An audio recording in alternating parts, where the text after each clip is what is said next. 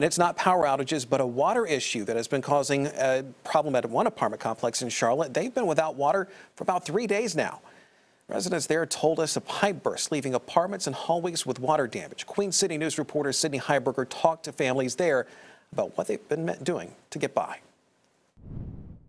Signs posted on the doors of the 2627 building read in part, the water will be out until Tuesday at the earliest. And residents here tell me that there are now three buildings without water.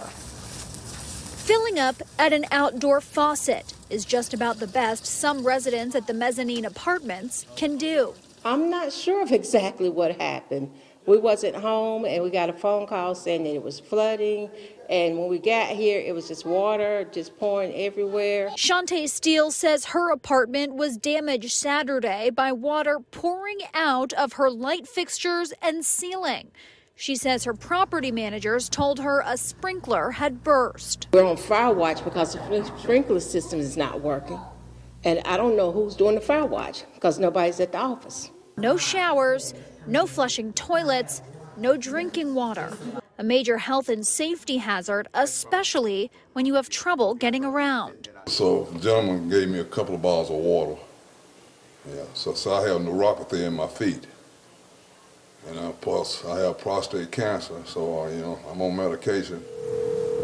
We tried calling and emailing the property managers ourselves, hoping to ask why it would take at least four days to get the water flowing again. But emergency phone for Tyvola Crossing, Mezzanine, and the Mulberry is not available. To no avail. I'm very frustrated because this I've been here for a month, and this is my first Christmas that we could have celebrated together, all of us.